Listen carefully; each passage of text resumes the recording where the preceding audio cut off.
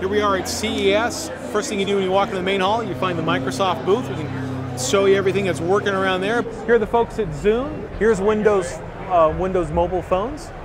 Here we are in Microsoft Media Room showing television on the internet. So Windows Media Center, which comes with uh, Windows 7. Windows Surface. This is the kind of the noisy, cool area, I guess. Let's go push a button.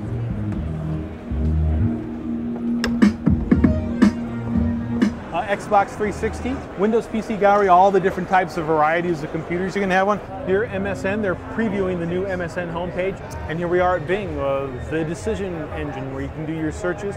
So they do these tours every half an hour. You can see these people, here, they were just at the office, now they're looking at Zune and the headsets, they're, they're interpreters. So it's the international CES. So you have interpreters, and we schedule on the half hour these tours. You can take a get a full tour of Microsoft. It's one of the great things here of CES is the diversity and the folks that come all over to come to Vegas. And this is the largest convention in North America. Near and dear to my heart is the first thing you see when you walk in. Office 2010. I'm feeling it's going to be a kind of a big year for us. So we got people demoing the, on these big screens and showing off some of the new features, video in PowerPoint, Outlook, Excel, asking questions. We've seen some people here for 90 seconds. We've seen some people here for 20 minutes talking to them about what are their features. And people seem pretty excited. Let's go and see what they're talking about here. Looks like uh, Drew here is kind of showing the what's called the backstage, the new area for that. This is an Excel.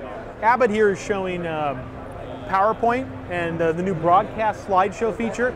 This way, as he's telling these folks here, you can have a PowerPoint, you upload it, and you send it out in an internet link. So you don't have to have PowerPoint. Anyone on any, within with that internet access can get on the internet and see the PowerPoint, and then tell them the conference number so they can listen in on the audio and see the video no matter where they are, and they only have to have the program.